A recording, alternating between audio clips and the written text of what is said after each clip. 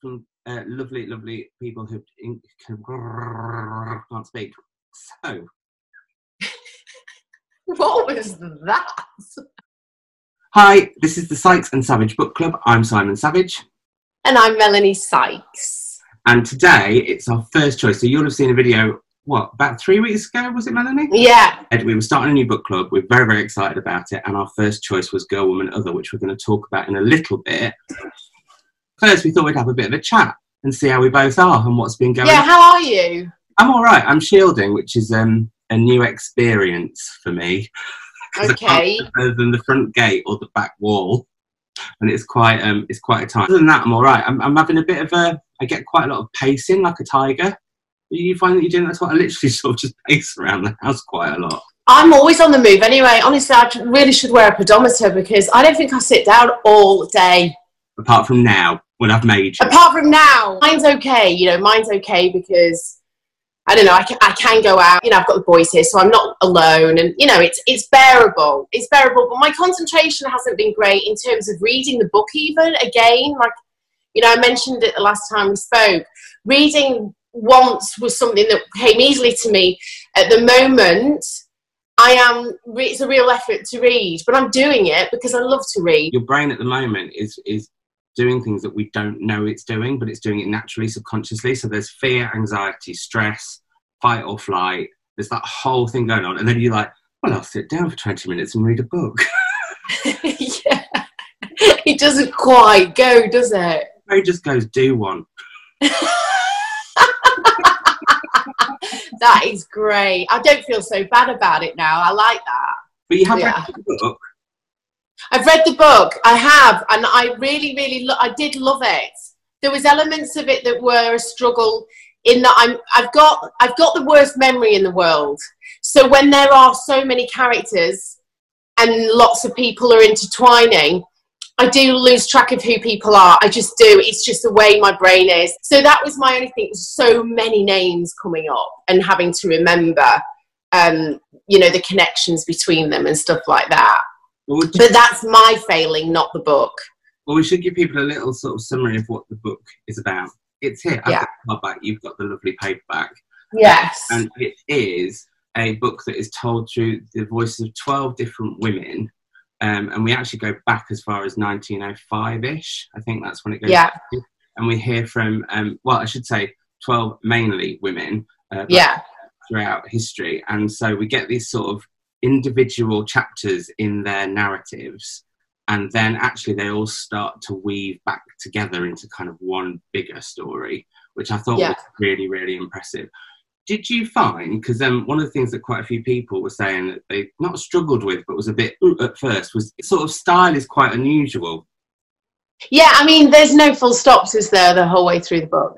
And I've never read a book that does that. And I loved it because I could do it. It's I read it at my own pace, if you like. You're in control of the pace of it. I just thought it was really cool. I just, I, I enjoyed that because I, I think obviously subconsciously when we see a full stop, we do pause. Whereas with this, it's not there. So that conditioning we can free flow. And I just think it's a clever tool. What did you think? I like it in the fact that it makes you make the pace of the book. Also, I thought what she did really well was put. This is going to sound so silly, but I hate books with no breaks. It really bothers me. Like I Oh, yeah, I'm the same. You need you need little islands to get to. to make a cup of tea or something. Absolutely. I like to be at the end of chapter two or the end of chapter whatever before I then go to bed. I can't Yeah, be like halfway through a page and there'll be more to come. It just yeah. But this definitely this I, this style helped with that. I think she sort of wonders where people will need to pause and, and how much they'll take in because also when you've got so many voices, that's quite tricky. I did feel a little bit bad because because I didn't think the pandemic would last this long. We'd all be in lockdown. I was thinking maybe I should just chosen something a bit breezier too. But we have discovered we both quite like melancholy.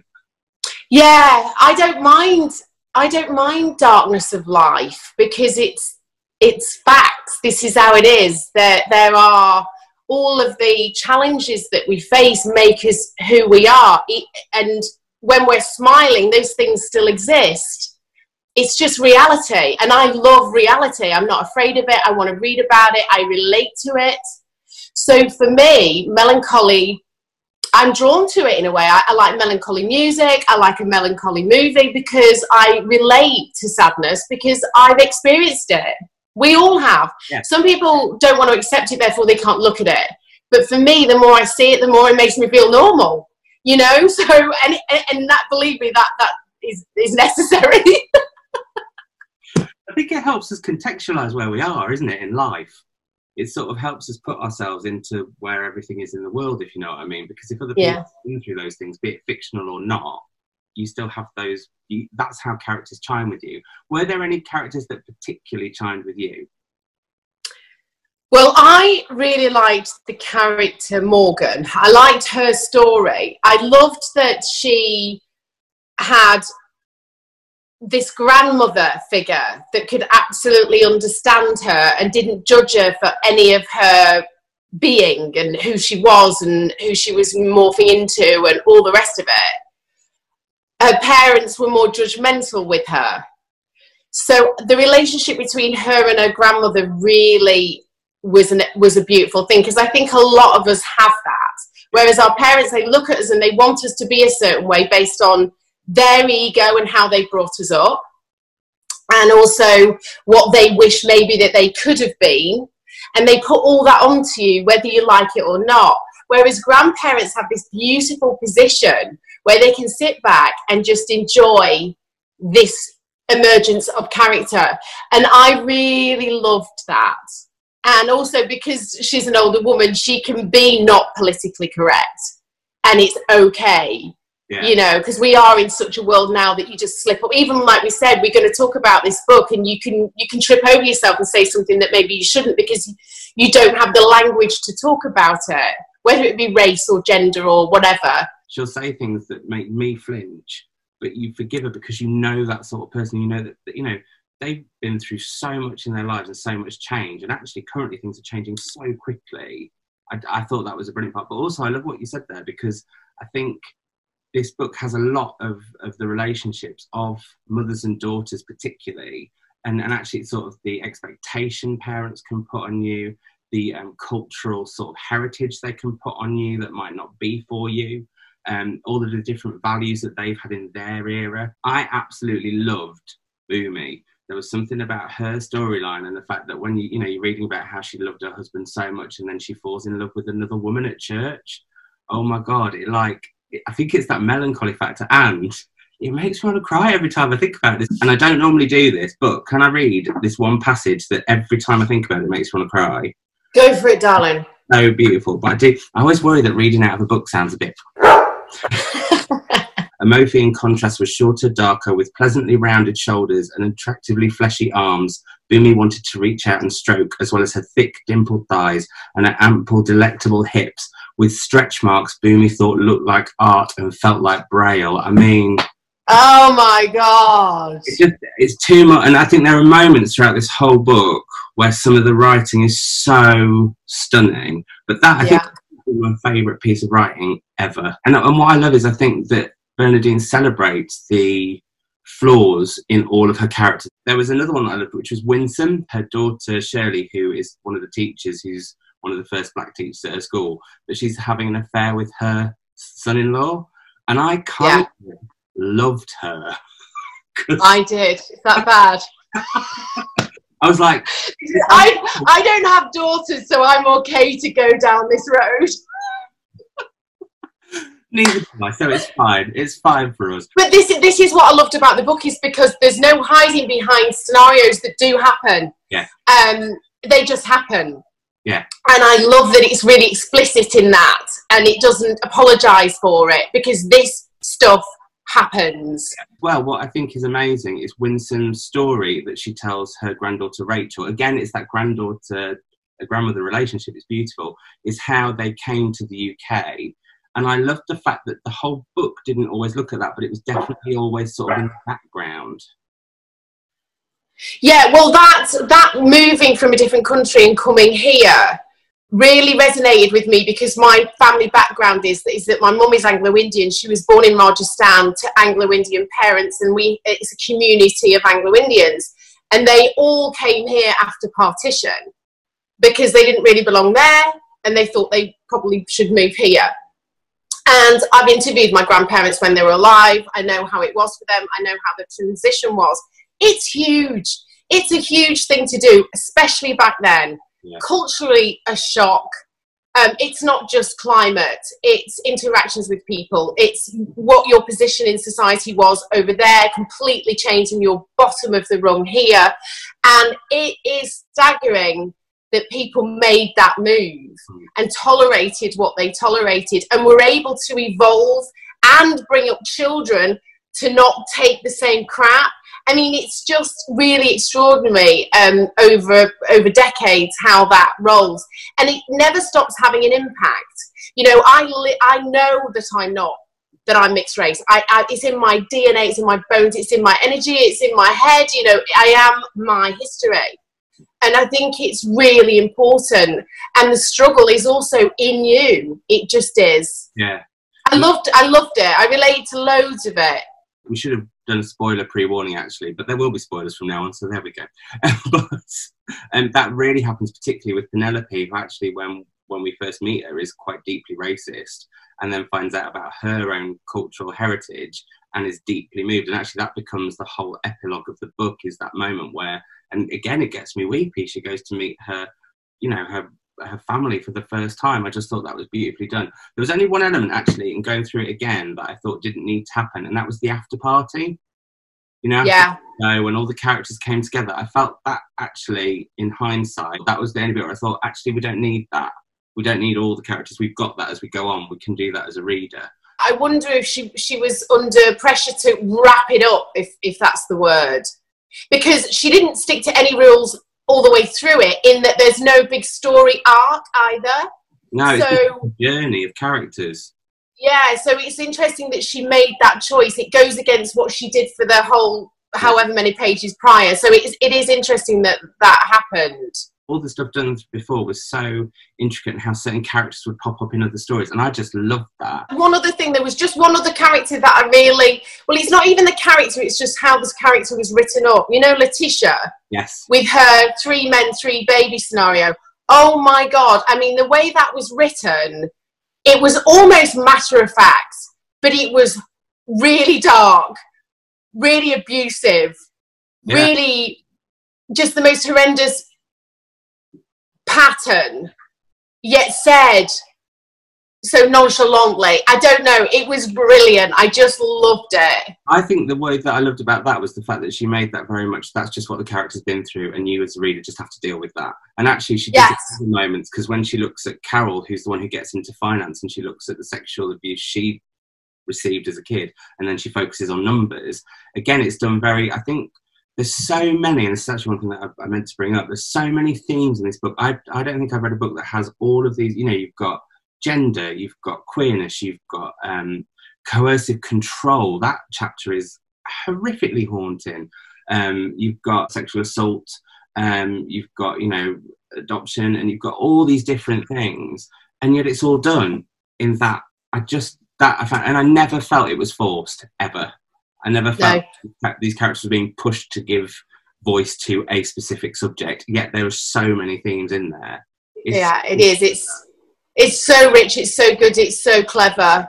It's yeah. brilliant. Time for some questions from lovely people who joined in. Both Sarah Exify and Casa Costello asked us very similar questions about the punctuation style. Did you think it worked?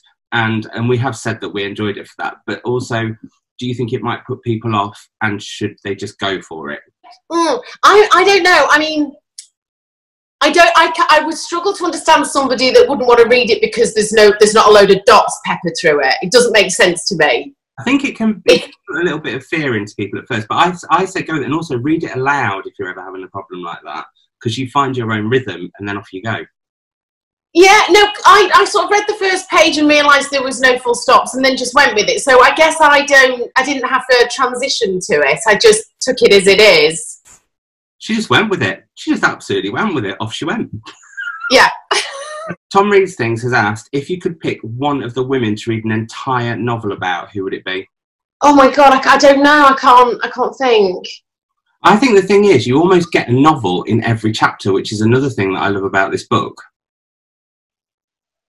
Yeah, because there's so many amazing characters in this, and they all have obviously a big story in themselves. I, I would really find it hard to choose one, to be honest. I know that sounds like a cop out, but it's true.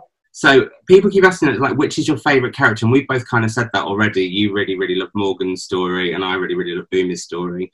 Um, and the same again, which perspectives did you connect with? And I should say these are from Everston Road and Emma Mervyn, so thank you for their questions. Katrina Books and Food would like to know, she found the portrayal of men really interesting, especially white versus black. How did we feel about that? Now, I didn't necessarily spot race when it came to the men in the book. I just generally spotted good or bad.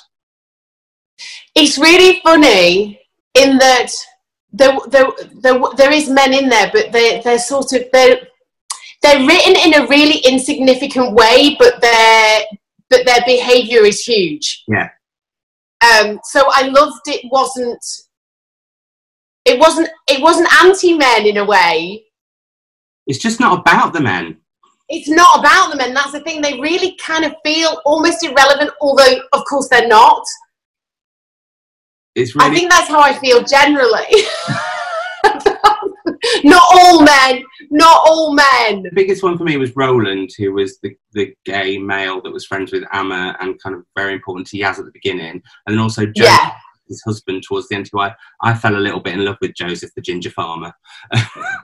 Oh oh I'm so glad they got back on track with their lives because it was idyllic and then it wasn't and then it was again and I was I loved all that. But also, it's that whole thing about she does again, even just in that section, she does the incredible thing of you know this love story that kind of goes down a dark path because she looks at postnatal depression in a time when it wasn't talked about. You've also got the fact they get a maid who won't do anything for her because she's a black woman. Just even in that small. I know, and it was so cinematic. Also, I thought it was wonderful. Yeah. And Faye Hutton finally has asked if you could interview one of the characters, who would you choose? And I'm going to go with Penelope because she was the one who I think had the biggest arc in the whole book. In the fact that she found out more about her cultural heritage and the fact that she had been racist and then really had to check that. Also, I love a cantankerous character. I think I'd want to interview Winsome because I the idea of people moving over to this country and the journey that they have to go on, I resonates with me because of my grandparents. So I guess having interviewed my grandparents and they're Asian, it'd be interesting to see somebody else's perspective from a Caribbean background. I think that the the the reception that these people get are slightly different. Thank you for all of your questions. So, Melanie, what is your choice for the next read? Well, I thought we should go um, a little bit murder mystery. Yeah. It's The Hunting Party by Lucy Foley. That is our next one. It is. Um, and all it says on the back is in a remote hunting lodge deep in the Scottish wilderness, a setting. I love that setting instantly. Um, yeah. Old friends gather for New Year. The beautiful one, the golden couple, the volatile one, the new parents, the quiet one, the city boy, the outsider, and the victim. Not an accident, a murder amongst friends. Ooh. Love it. And we will be chatting about this on the 24th of May. Let us know your thoughts as you read it on our socials and also keep sharing your bookmarks with us because we blinking love it. Yeah, because my my one he needs a book to cover himself. I want one of those ones. I'm absolutely jealous. it's great. I know. Everybody loves this. I looked it up on the internet and my Google went a bit bonkers looking up names. well, on that note, we're going to say goodbye. So it's bye from me. And bye from me. I'll see you next month. Right, come on. You've made me cry twice today. After I should have. Good.